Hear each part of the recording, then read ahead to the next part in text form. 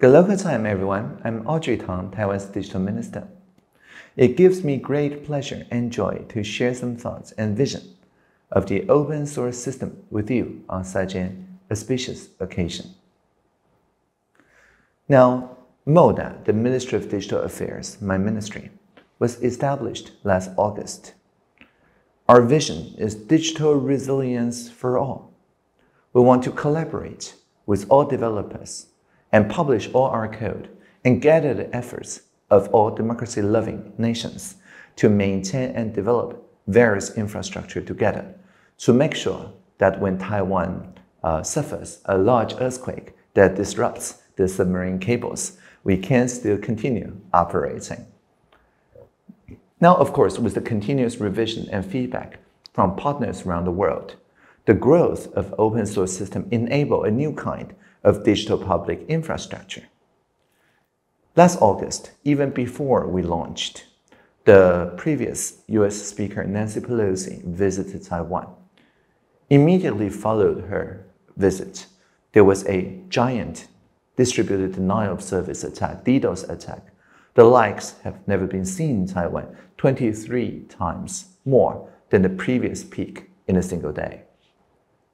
And Moda already set up like a giant sandbox to try the latest open source technologies, responded to this challenge by launching our website exactly the same hour as the drill started from the PRC, uh, the PLA around the Taiwan Strait. Now, we adopted not just the traditional Web2 CDN like Cloudflare, but we also embrace the open source infrastructure called the Interplanetary File System, or IPFS. It's a key part of our Web3 strategy.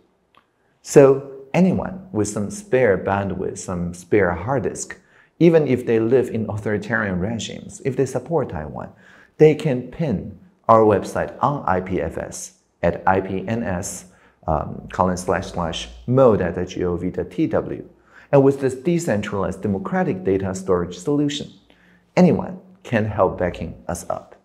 And we did get a lot of help from people around the world, and even from Protocol Labs, the designer of the IPFS.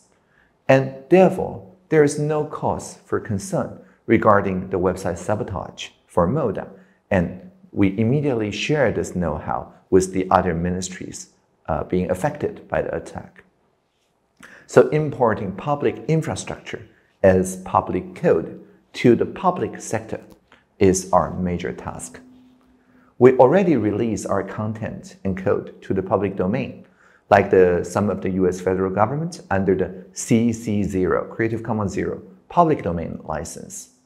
And we're also exploring the possibility of introducing public code systemically through our procurement reform. We hope to shape a common digital resilience infrastructure with all democratic partners to co-create a digital governance paradigm for the globe. So thank you for listening. I wish a great event and live long and prosper.